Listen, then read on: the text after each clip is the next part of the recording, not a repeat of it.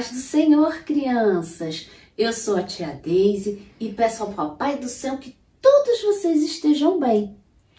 A tia vai falar a respeito da lição 6 da revista maternal da Escola Bíblica Dominical, que tem como tema Vamos conhecer o livro do começo?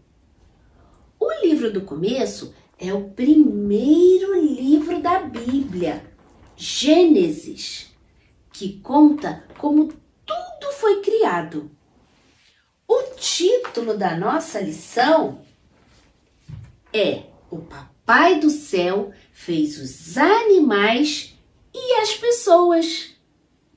A nossa história bíblica se encontra no livro de Gênesis, no capítulo 1, dos versículos 27 ao 31.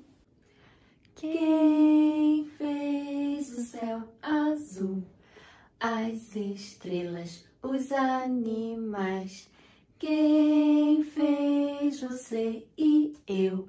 Deus nosso Pai. Quem fez o céu azul? As estrelas, os animais. Quem fez você e eu? Deus, nosso Pai. Que lindo! Muito bem! Crianças, na Bíblia, no livro de Gênesis, no capítulo 1, versículo 27, está escrito: Assim, Deus criou os seres humanos parecidos com Deus. Seres humanos são as pessoas. Deus, ele criou a você e a mim. E o nosso versículo diz que nós somos parecidos com o Papai do Céu. Nós falamos, pensamos, usamos a nossa inteligência para construir, para fabricar e criar muitas coisas. Nós, eu e você, somos a obra-prima de Deus. Somos a coisa mais importante que Ele criou. Deus, Ele nos ama muito e Ele nos deu também capacidade para amá-lo. Então, agora vamos repetir o versículo com a tia? Assim. Assim Deus criou Deus criou os seres humanos os seres humanos parecidos parecidos com Deus. com Deus. Gênesis, Gênesis, capítulo 1, capítulo 1, versículo 27. versículo 27. Amém. Amém. Muito bem. Crianças, que animais o Papai do Céu fez viver na água? Muito bem, os peixes.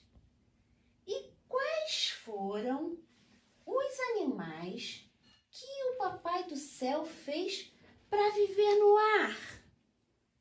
As aves. Então, crianças, no sexto dia, o Papai do Céu fez os animais para viverem na terra.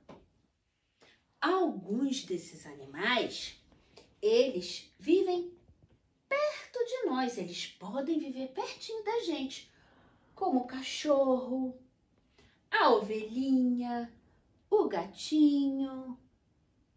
Tem outros animais que o Papai do Céu fez que vivem lá na selva, lá na floresta, como o leão, o elefante, o macaco, a girafa e muitos outros. Quantos bichos o Papai do Céu fez, né? E como eles são diferentes uns dos outros. Deus ficou muito contente com os animais que ele tinha feito. Mas Deus queria alguém parecido com ele, que pudesse conversar, pensar, criar coisas e, acima de tudo, amar a Deus. Então, Deus pegou um pouco de barro e com esse barro ele formou o homem. Deus então pegou o homem e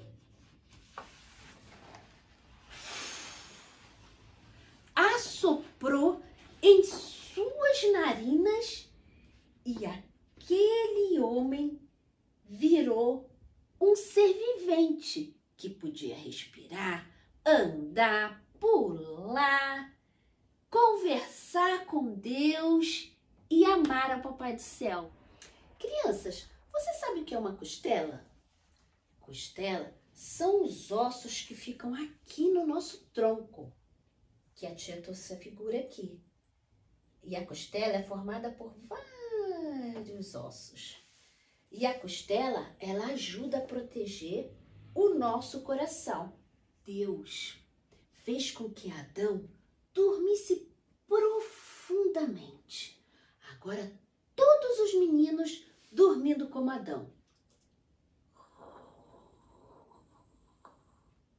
E enquanto Adão dormia, Deus pegou uma das costelas de Adão e sabe o que ele fez com essa costela? ele transformou numa linda mulher. E quando Adão acordou, agora todas as meninas comigo. Surpresa! Deus tinha dado a Adão uma linda esposa. O nome da primeira mulher era Eva. Eva também era parecida com o Papai do Céu.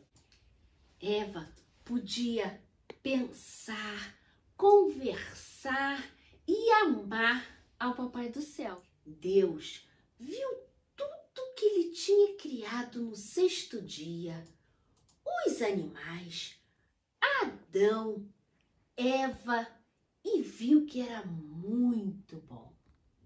Aí, crianças, veio o sétimo dia.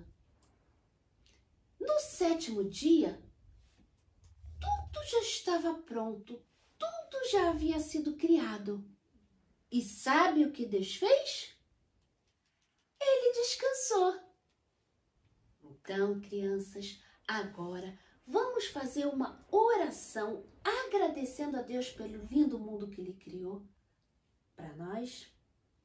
Feche os seus olhinhos, junta as mãozinhas e repete com a tia.